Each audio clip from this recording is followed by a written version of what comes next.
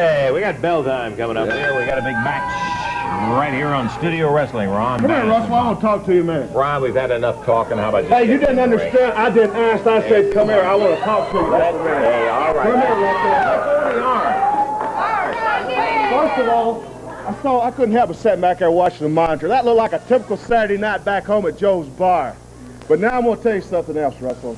Since I've been in the Mid-South area, I have met and beat everybody that you've got. It seems that if I'm the best, why hadn't people come up and gave me titles? You know, you just recently had a battle royal here. Who won the battle royal, Russell? Okay, you Who won it, Russell? You won the battle. That's right, I run it. Usually it takes me a matter of two or three months to beat everybody in the territory.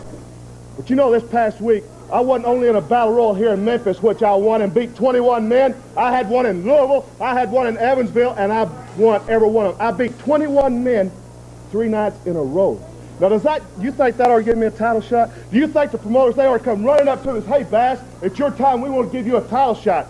Now, Lance Russell, when I came to this area, I told you I won the Southern Heavyweight Championship, and that's exactly what I want. But no, Robert Fuller, the big long neck, you know he reminds me of a crane in a willow brake, boy. He's looking around, where's Bass at, where's Bass at? I want to know where Bass is. I don't want to wrestle the man, because I'll lose my title. Hey, shut up, Russell, I'm talking right now. When I get done, then you can talk again. This is not your interview, it's mine.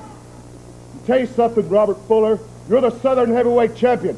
But it's just be a matter of time. All we got to do is get your name on a line, get it on a contract, and step in the ring one time. I'm not talking about maybe wrestling you once and filling you out and knowing about you. Up. No, Fuller, I'm going to wrestle you one time, and I'm going to beat you for the Southern Heavyweight Champion. Now, I'm telling you people right now, it's not brag. In fact, you can make buck on it. When the Bass Man tells you he's going to be the Southern Heavyweight Champion, you better believe it.